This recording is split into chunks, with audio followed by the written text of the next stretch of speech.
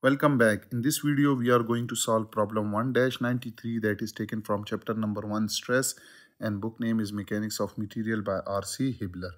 So statement is the rod A, B and CD are made up of steel. Determine their smallest diameter so they, that they can support the dead load shown. The beam is assumed to be pin connected at A and C. Use LRFD method where the resistance factor for steel in tension is 0.9 and the dead load factor is 1.4. The failure stress is 3345 megapascal. So you can see this is beam AC that is supported by two rod AB and CD that are made of steel. The dead load is shown over here so you have these are the pin supported at point A and C. So using L load and resistance factor design method. So you have to calculate the diameter of rod AB and this diameter of rod CD. So let's start with the solution. So you can see that due to this dead load layer, there will be a tensile stress in rod AB and CD as a result, this rod exert a vertical force FAB on this beam and FCD on this beam. Clear? So we'll find this FA and FCD by using equation of equilibrium. So it is better to draw a separate free body diagram for uh, for saving time. I am already drawing over here. So this is FAB, which is the force that is, is that is exerted by this rod on this beam and this is FAC. So we'll find this FA and FAB and FAC by using equation of equilibrium. So first equation of equilibrium is that sum of all moment about point A is equal to 0 taking the counterclockwise moment as positive. So about point A, the first force which is producing moment is FAC and perpendicular distance is 3 plus 3 plus 2 plus 2 which is 10 and this is producing counterclockwise movement so it will be positive. So i will write fac multiply by 10 the second movement which is produced by this 5 kilonewton load and perpendicular distance is this 7 um, meter and this is producing clockwise so it will be negative. So i will write minus 5 into 7 the third load which is producing movement is 6 into perpendicular distance is 4 meter and this is producing clockwise so it will be negative.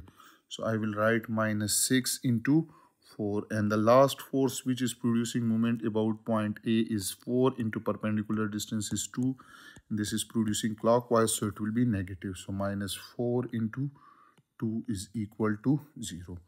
So we will get 10 FAC is equal to 67.67 kilo Newton and from here this FAC will be equal to 6.70 kilo Newton.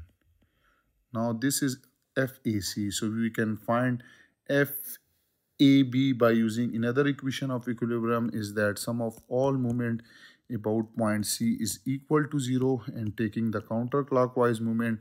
So you can see that about point C first movement is FAB and perpendicular distance is 10. This is producing clockwise movement so it will be negative. So I will write minus FAB into 10 clear.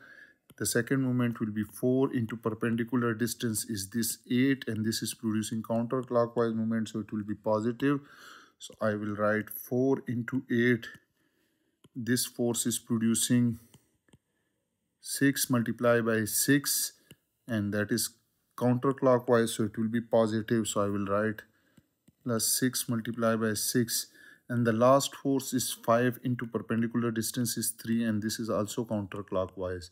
And the sum of all moment about point C is equal to 0 okay so from here, when you calculate it, you will get FAB is equal to 8.30 kilo Newton.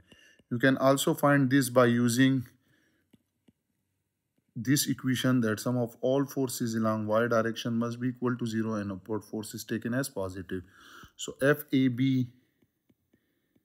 minus 4 kilonewton minus 6 minus 5 plus 6.70 is equal to 0.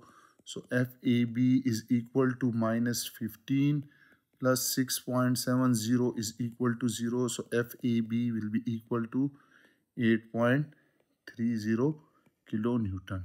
So you can use any of this in order to find this. But this one is the simplest one. Now we have FAB and FAB and FAC we have been given as factored load. So we will find factor load because you can see that we have been given dead load factor is 1.4 so this load FAB will be increased by 1.4 times. So 1.4 multiplied by FAB is uh, 8.30 so this load will be increased. So it will be equal to 11.62 kilonewton. And similarly FAC will be also increased by 1.4 because the dead load factor is given. So we have to multiply it.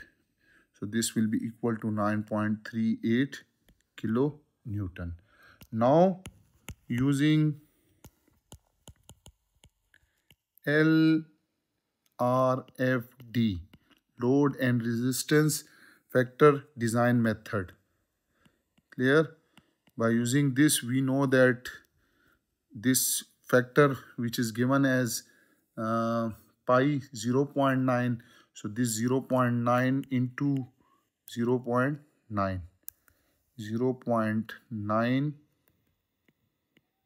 into failure will be equal to for for rod or for rod AB 0 0.9 into failure will be equal to FAB because this is intense tensile. This is given resisted resistance factor for steel in tension is 0.9 so this will be equal to area of AB clear? Now what we will do is that from here 0.9 failure stress is given as 345 megapascal so multiply by 345 into 10 to the power 6 clear is equal to FAB FAB is 11.62 and 10 raised to power 3 will convert it into Newton divided by area. So pi by 4 DAB square. Clear? So what we are going to calculate is we are going to calculate DAB. So DAB square is equal to 11.62 into 10 raised to power 3 divided by 0 0.9 into 345 multiplied by 10 raised to power 6 multiplied by pi by 4 and if you take square root on both sides so you will get DAB will be equal to 0 0.00690 meter or DAB will be equal to 6.90 millimeter. So this is the diameter of rod AB. Now for rod for rod AC we will get 0.9 multiplied by failure is equal to FAC divided by area AC.